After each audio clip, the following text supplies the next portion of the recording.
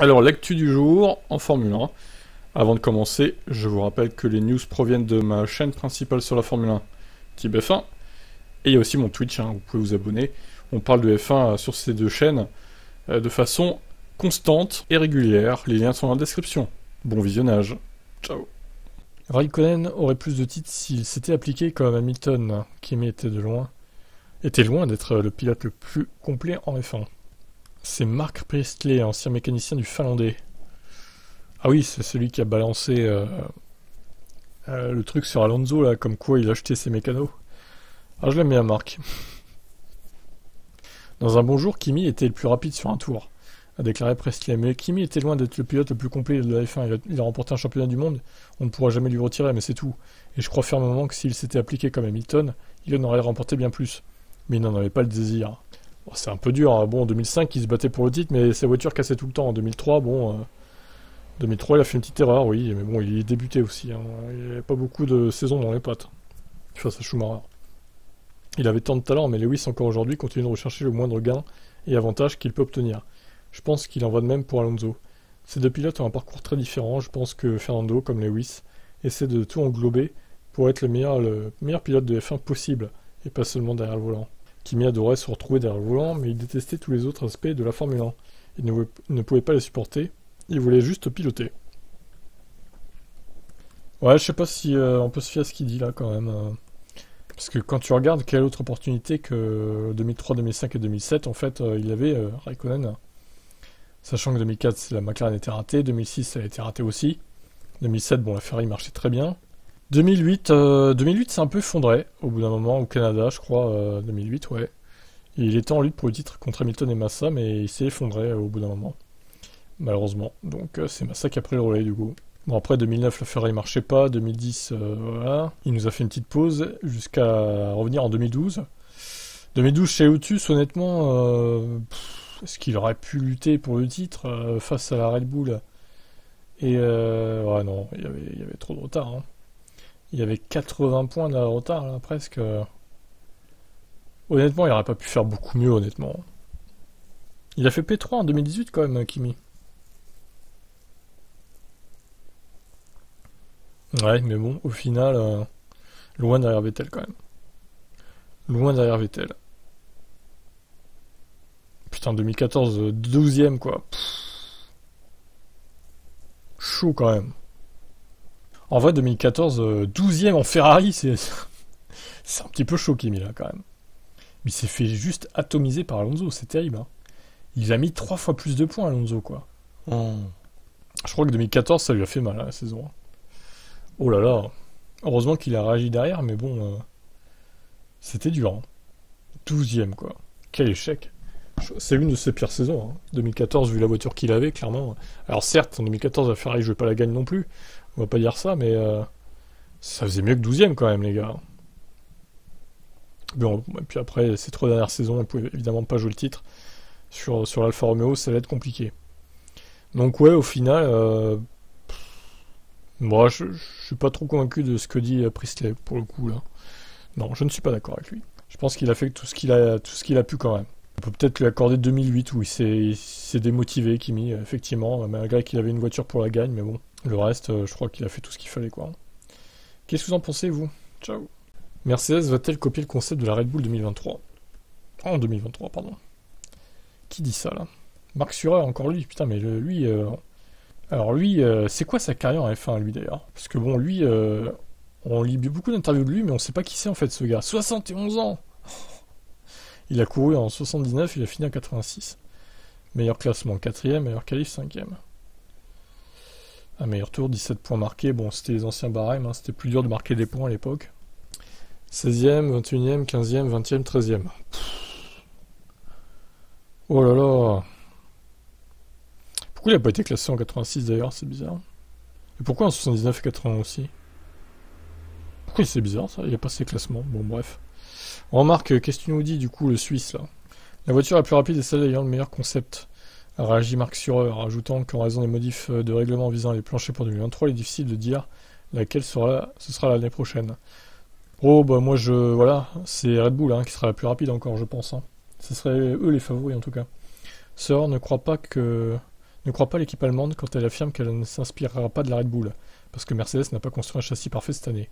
Ils vont produire une copie de la Red Bull l'année prochaine, conceptuellement, tout du moins. Et ils seront de retour. Ben non, on n'est pas comme Aston Martin, on copie pas en fait. Et non, Marc, tu vas te calmer, hein.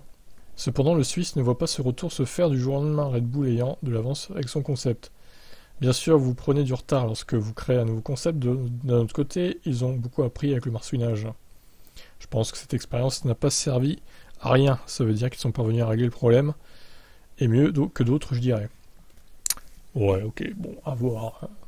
À voir si la W14 sera une copie de l'RB19. Écoutez, je sais pas. J'en doute, moi, personnellement, mais pourquoi pas, après. Hein. Russell a élargi ses compétences en travaillant avec Hamilton. Tout d'abord, je me sens tellement chanceux d'être coéquipier de Lewis car ça m'a donné une bonne opportunité de voir ses forces et où je peux apprendre de lui. Il est définitivement très fort dans certains domaines. Il est toujours très fort dans les virages à basse vitesse et au freinage.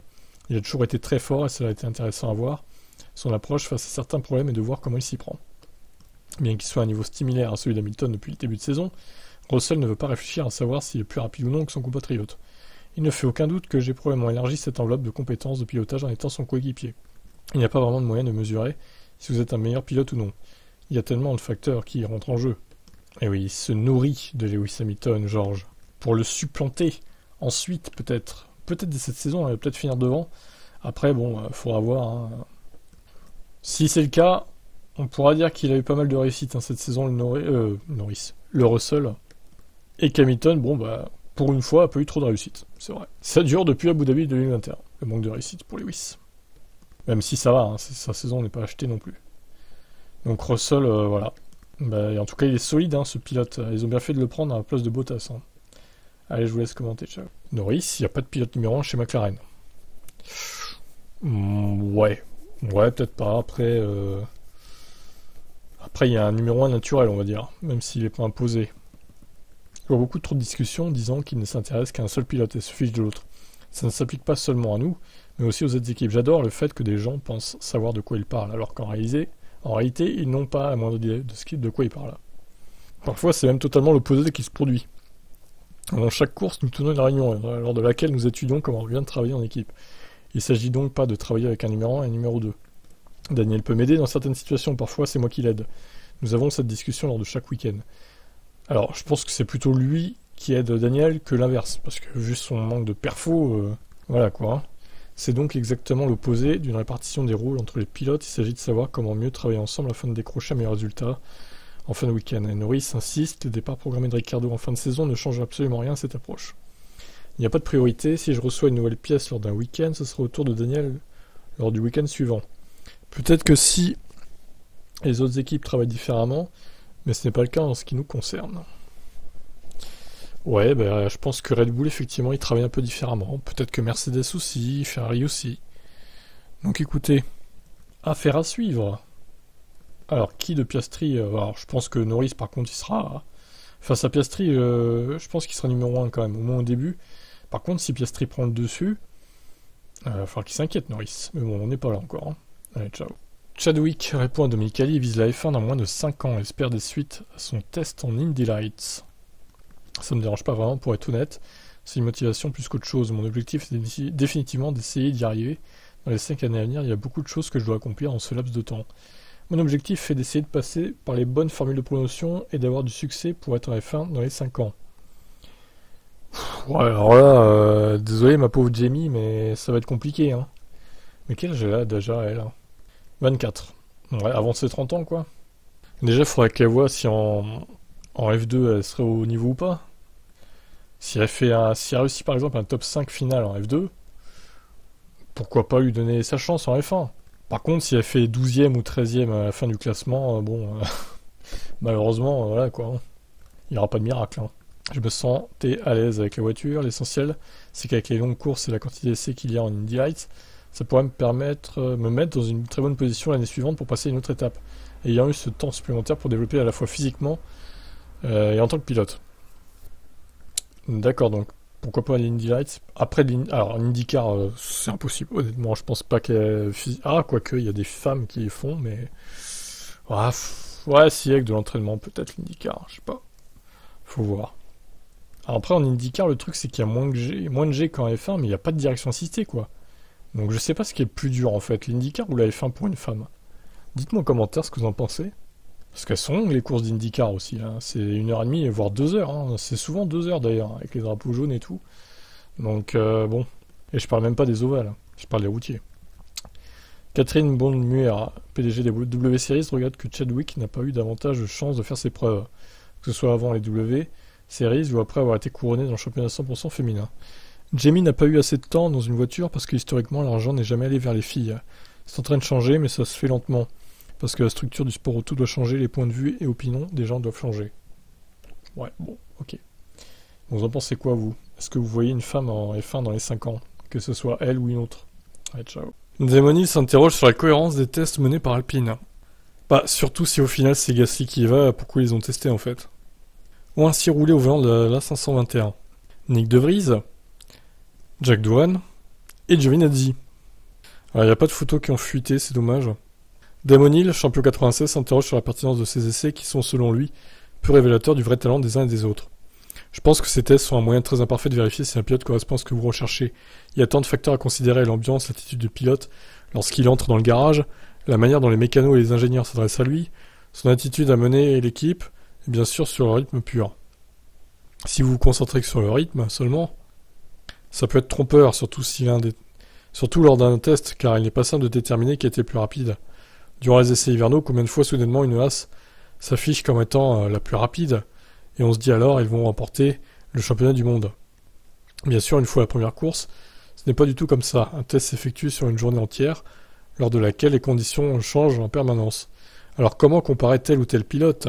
D'un jour à l'autre, l'histoire est complètement différente. Ouais, c'est vrai que là, je suis plutôt d'accord avec lui aussi. Hein. Puis, excusez-moi, mais tester Giovinazzi, et ils envisagent vraiment Giovinazzi pour remplacer euh, Alonso, quoi.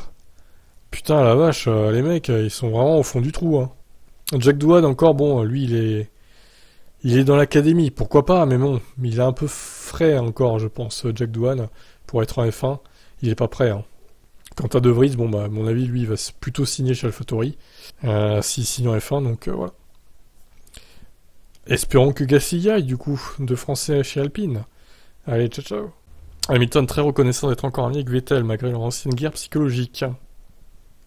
Avec Sébastien Vettel, nous avons eu de belles courses dans le passé. Je suis tellement fier de lui et de la façon dont il a réalisé son parcours, de la façon dont il s'est ouvert et de la façon dont il a été franc et continue de l'être.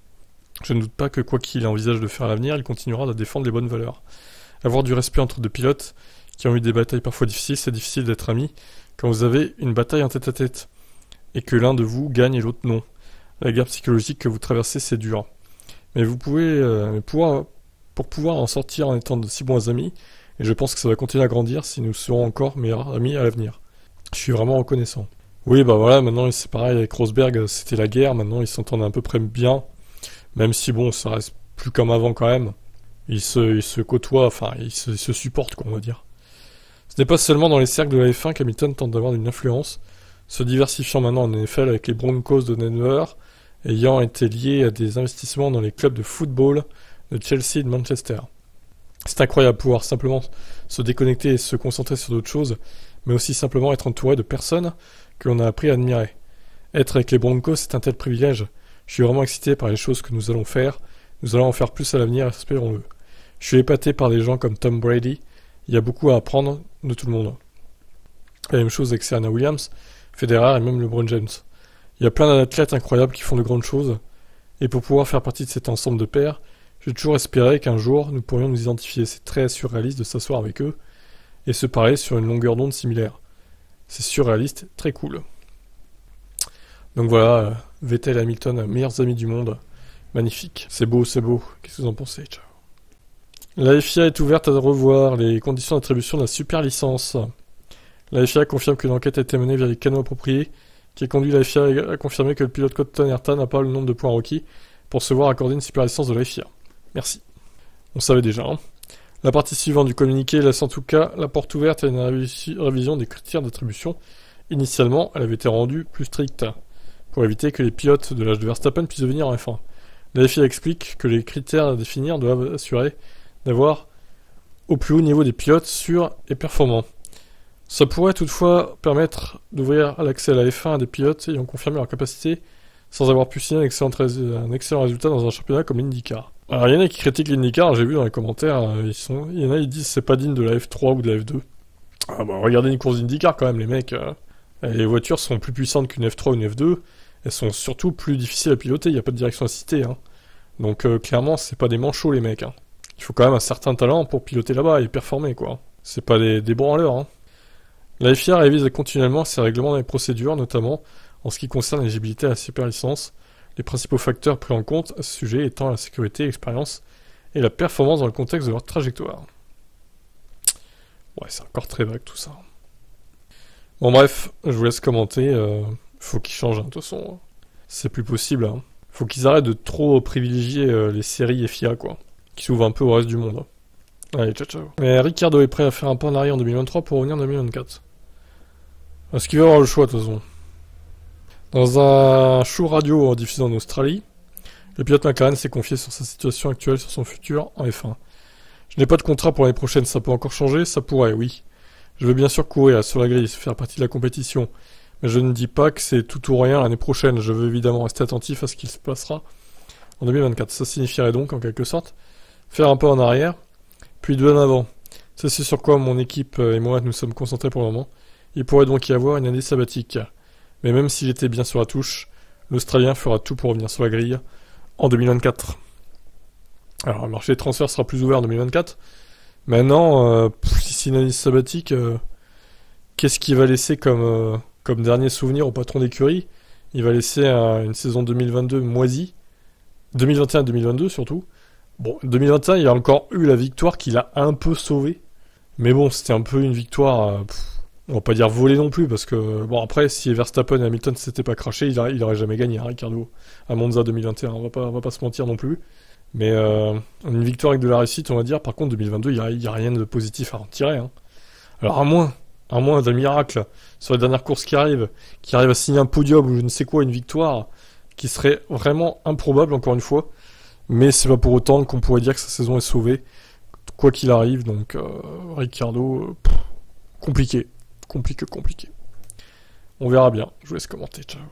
Alors, Aston Martin va sortir des évolutions pour préparer 2023 à Singapour, donc.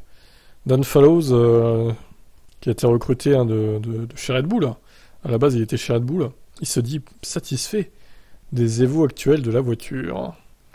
Dans le cadre d'un programme visant à réduire le poids des voitures et pour améliorer la performance aérodynamique, nous aurons de nouvelles pièces à Singapour. Il s'agit de rendre la voiture plus rapide, mais il est également question de celle de l'année prochaine. Très important de continuer le développement de la voiture actuelle et ne pas manquer la moindre opportunité de faire des essais en piste. Vous pouvez avoir autant de confiance que vous souhaitez dans votre soufflerie et vos outils de simulation, mais la vraie réponse intervient en piste. Afin de gagner en confiance dans notre projet 2023, nous devons continuer d'amener des évos sur les circuits. Les retours de nos pilotes en relation à ce que nous avons apporté cette année ont été bons, et nous avons constaté des améliorations dans les performances de la voiture également.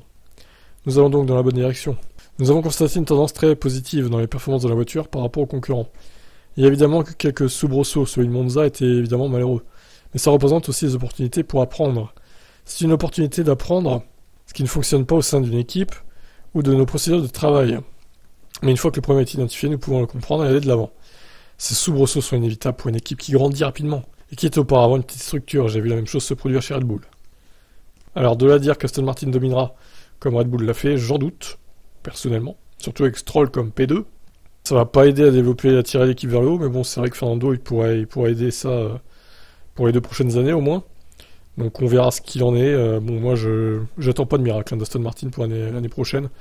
Je pense que ça jouera les points certainement plus régulièrement que cette saison.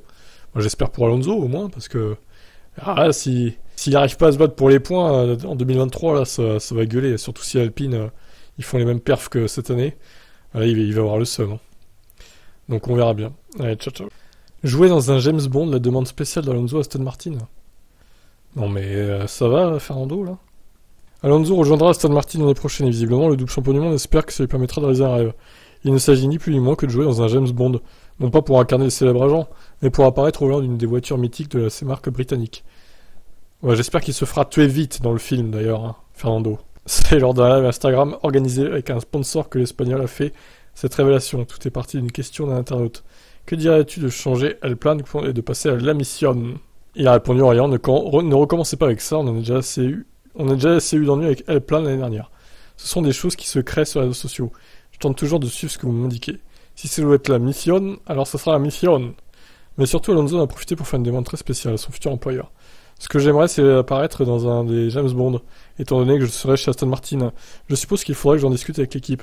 Tourner une scène au volant d'une Aston Martin dans les rues serait vraiment excitant. J'espère que le film sortira. Bah, de toute façon, il y aura sûrement un nouveau James Bond, oui. Mais bon, euh, qu'est-ce que, quel rôle il pourrait avoir à part celui d'un PNJ méchant à la limite, euh, un, personnage secondaire quoi, euh, qui, qui, se fait tuer par James Bond évidemment, éventuellement, très vite. Mais en quoi il conduirait une Aston Martin en fait? C'est assez étonnant. Ou alors il pourrait faire le chauffeur de James Bond à la limite. Comme ça, bah, il conduit l'Aston Martin, il se fait pas tuer. Tout le monde est content. Enfin, ses fans surtout. Qu'est-ce que vous en pensez? Euh, Alonso dans un futur James Bond ou pas? Allez, ciao.